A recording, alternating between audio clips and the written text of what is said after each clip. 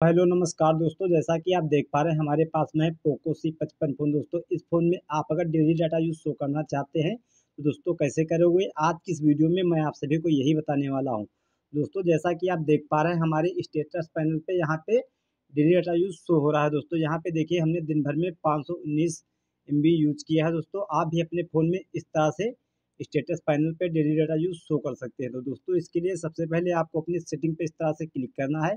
Setting open हो जाने के बाद में नीचे की तरफ़ एक बार स्क्रॉल डाउन करेंगे। इसके बाद में दोस्तों आपको यहाँ पे नोटिफिकेशन एंड कंट्रोल सेंटर का ऑप्शन मिल जाएगा। इस पर आपको इस तरह से क्लिक कर देना है।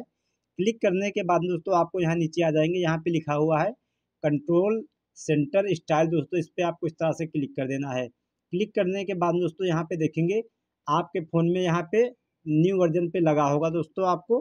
तो यहाँ पे आपके स्टेटस पैनल पे डेली डाटा यूज़ शो नहीं होगा दोस्तों। आपको यहाँ पे ओल्ड वर्जन पे लगा देना है दोस्तों। अब आपके स्टेटस पैनल पे डेली डाटा यूज़ शो होने लगेगा। दोस्तों, अगर वीडियो पसंद आई हो तो वीडियो को लाइक, अगर आप हमारे चैनल पे नए हैं तो चैनल को सब्सक्राइब करना ना भूलें।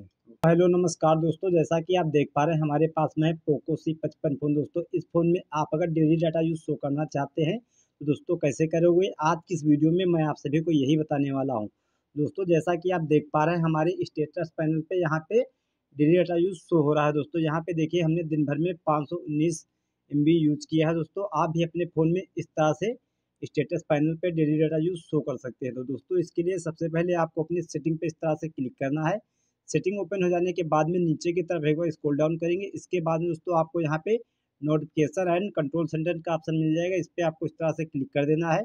क्लिक करने के बाद दोस्तों, आपको यहाँ नीचे आ जाएँगे। यहाँ पे लिखा हुआ है, कंट्रोल सेंटर स्टाइल दोस्तों, इस पर आपको इस तरह से क्लिक कर देना है। क्लिक करने के बाद दोस्तों, यहाँ पे देखेंगे, आपके फ़ोन में यहाँ पे न्यू वर्जन पे लगा होगा दोस्तों आपको।